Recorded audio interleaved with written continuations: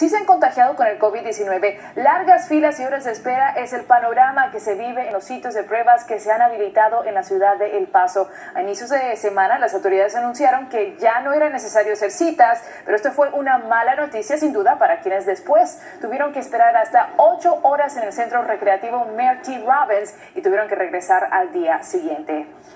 Y también en Arizona los test tienen en jaque a las autoridades. Funcionarios de salud anunciaron que desde hoy distribuirán hasta 5.000 kits de pruebas gratuitas diarias de diagnóstico de coronavirus en las comunidades más vulnerables del estado como Maryvale y el sur de Phoenix. Los resultados de las pruebas, que son nasales, estarán disponibles después de 48 horas a partir de que las muestras sean entregadas en los laboratorios.